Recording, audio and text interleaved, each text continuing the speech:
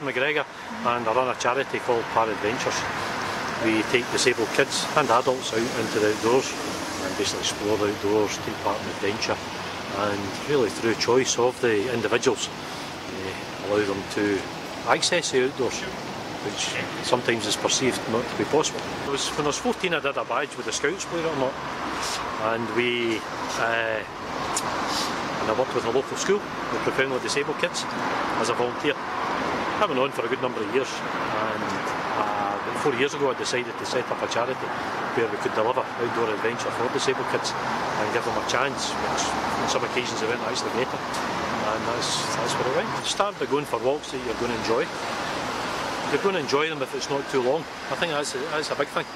You know, if you if you go out and try and do a, a big load of miles and you know, and you're going to be tired the next day then you might not want to go back out. So go out for short walks, you know, and explore. If you're not sure where a path goes, then take a walk up it and see. There's loads of signposted paths uh, and local information, and if not, give me a shout and I'll talk you through some of them. I love all the walks.